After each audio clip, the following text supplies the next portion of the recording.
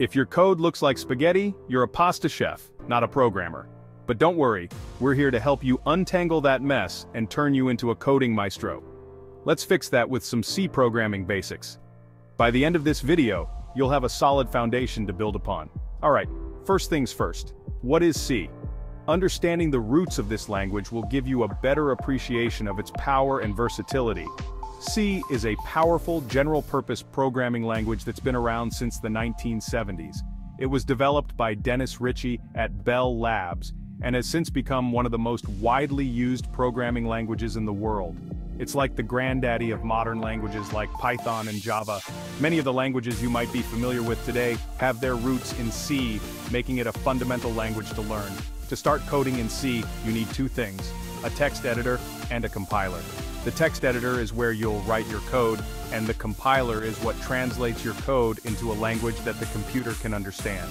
Think of the text editor as your notebook, and the compiler as your translator. Popular choices? There are many options out there, but some are more beginner-friendly than others. Try Visual Studio Code for your editor and GCC for your compiler. Visual Studio Code is a versatile and powerful text editor that supports many programming languages while GCC is a robust compiler that's widely used in the industry. Now let's write your first C program. This is an exciting moment as you'll be creating something from scratch. Open your text editor and type this. This is the starting point for every C program and it's important to understand each part of the code. Hash include, this line tells the compiler to include the standard input-output library, which is essential for many basic functions in C int main. This is the main function where your program starts.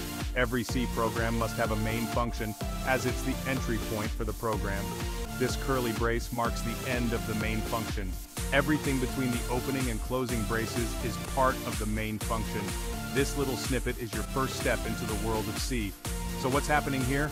Let's break it down further hash include, tells the compiler to include the standard input-output library. This library is crucial for functions like printf and scanf, which handle input and output operations. int main is the main function where your program starts. The int before main indicates that this function returns an integer value. The parentheses can hold parameters, but for now we'll leave them empty. printf hello world nan prints the classic hello world message. Thean at the end of the string is a new line character which moves the cursor to the next line after printing the message. Return 0 ends the program. The return statement sends a value back to the operating system. Returning 0 typically means that the program executed successfully. Save your file as hello C. The C extension indicates that this is a C source file. Then open your terminal. Navigate to your file's location and type gcc hello cc o hello to compile. The gcc command invokes the GNU compiler collection and the O option specifies the output file name. Navigate to your file's location and type gcc hello cc o hello to compile. The gcc command invokes the GNU compiler collection and the O option specifies the output file name once the compilation is successful, you'll have an executable file named hello. Run it with slash hello and voila.